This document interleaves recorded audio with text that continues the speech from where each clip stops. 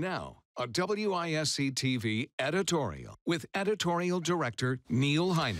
The Foundation for Madison's Public Schools has in 16 short years become one of this community's most important assets, creating endowment funds for each of the 50 schools in the district and awarding more than $1.5 million in grants for school projects that enrich the education of kids but wouldn't be funded through the core school budget. The success is a testament to the trust the Madison School District has built and to the generosity of citizens.